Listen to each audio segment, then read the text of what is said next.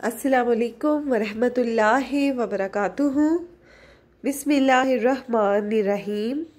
حضرت علی رضی اللہ تعالیٰ عنہ کہتے ہیں کہ مجھے یا رسول اللہ صلی اللہ علیہ وآلہ وسلم نے فرمایا، جب تمہارے پاس دو آدمی فیصلہ کے لیے آئے تو تم پہلے کے حق میں فیصلہ نہ کرو، جب تک کہ دوسرے کی بات نہ سن لو۔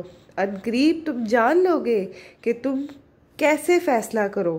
علی رضی اللہ تعالیٰ عنہ کہتے ہیں، اس کے بعد میں برابر فیصلے کرتا رہا، جامعہ ترمیزی یعنی ہمیں کوئی بھی فیصلہ کرنے سے پہلے دو فری کین کے مابین ایک کی ہی بات نہیں سننی چاہیے، بلکہ دوسرے کی بھی بات سن لینی چاہیے۔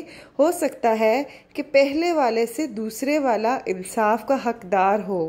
اچھی بات کو آگے ضرور پھیلائیے۔ اگلی ویڈیو تک کے لیے اللہ حافظ۔